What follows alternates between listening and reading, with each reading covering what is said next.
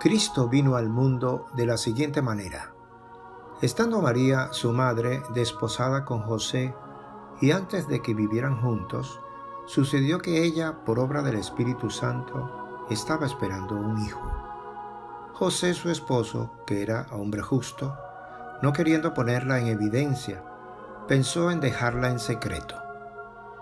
Mientras pensaba en estas cosas, un ángel del Señor le dijo en sueños, José, hijo de David, no dudes en recibir en tu casa a María, tu esposa, porque ella ha concebido por obra del Espíritu Santo.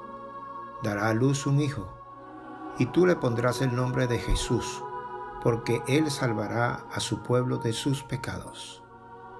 Todo esto sucedió para que se cumpliera lo que había dicho el Señor por boca del profeta Isaías.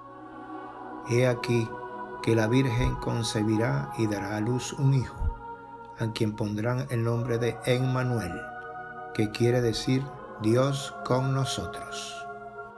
Palabra del Señor. Gloria a ti, Señor Jesús.